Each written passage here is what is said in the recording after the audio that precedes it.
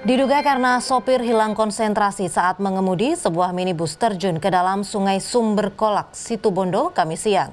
Proses evakuasi berjalan dramatis karena warga harus ramai-ramai menarik mobil dengan tali.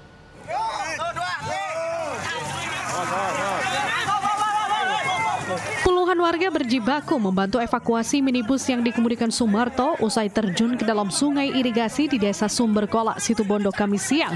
Akibat kecelakaan ini, minibus mengalami kerusakan dengan mengambang ke dasar sungai sedalam 3 meter. Beruntung Sumarto yang merupakan warga setempat selamat usai melompat dari kendaraannya.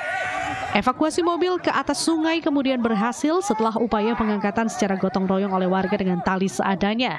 Dari pemeriksaan polisi, kecelakaan terjadi karena ada dugaan hilang konsentrasi pengemudi saat melintasi lokasi, ditambah korban yang kurang ahli mengendarai kendaraan. Kelalaian dari pengemudi, makanya dari itu kami himbau untuk para pengemudi silakan sebelum Anda mengendarai kendaraan pastikan Anda memiliki kemampuan untuk mengemudi, yang berarti Anda sudah harus memiliki SIM. Kalau memang belum memiliki SIM silakan, gak usah mengemudi dulu kendaraan bermotor karena membahayakan para pengguna jalan yang lain. Dalam sepekan ini, fenomena mobil jatuh ke laut maupun sungai menjadi catatan utama peristiwa kecelakaan di wilayah hukum Polres Situbondo.